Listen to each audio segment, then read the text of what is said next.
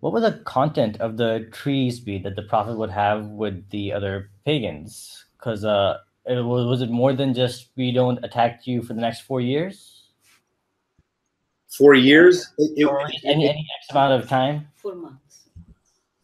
it, it really it seems that most of the treaties were basically treaties of coexistence that we're not going to attack you and you're not going to attack us and you will also not support our enemies you will not conspire against us so not being involved in any fight with us directly or even indirectly. So most of these treaties that were with the mushrikeen were of that nature. Basically establishing an, an environment of coexistence where you know we, we're not going to fight you and you're not going to fight us and you're not going to support our enemies and you're not going to also you're not going to attack us or our our our allies as well. Okay, so in our societies, people often find it hard to achieve inner peace. Yeah. And what are some of the important practices that the general Muslim public should change in order to get closer to Allah and achieve this inner peace?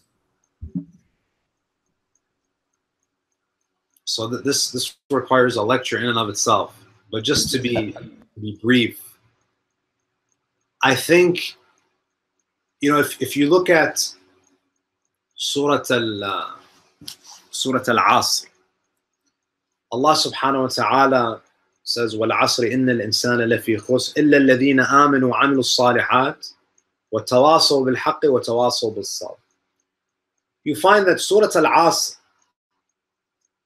basically says that people are at loss. The only ones who are going to walk away from dunya with a gain are those who believe and do righteous acts and then who encourage each other on truth and who encourage each other to be patient. You see, brothers and sisters, that this surah seems to indicate that we have to help each other, that it's difficult to reach Allah subhanahu wa ta'ala on your own. Meaning that you have to create a network or have individuals in your life, friends in your life who motivate you to increase your spirituality, to get closer to Allah subhanahu wa ta'ala. So finding people who are also interested in their spiritual development, interested in increasing their knowledge. Who you associate with has a profound impact on your spirituality. I mean, I'll give you a very simple example.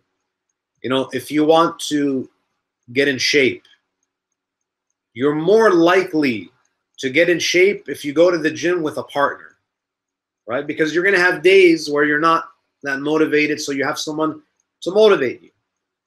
The same thing applies in spirituality. You know, you need to be around like minded people so you can remind each other. Because Allah subhanahu wa ta'ala, at the end of the day, He wants us to establish a righteous society. You know, even in Surah Al-Fatiha, we say, Iyaka na'budu wa iyaka nasta'in. It is you who we worship.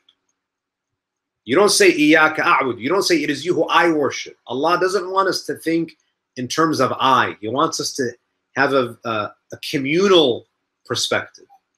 So spending time with people, having, you know, people who you see as your spiritual partners, is is is a way that I think you can achieve this uh, this inner peace by surrounding yourself with like-minded people who are interested in uh, in spirituality, who keep you in check, who remind you of your responsibilities.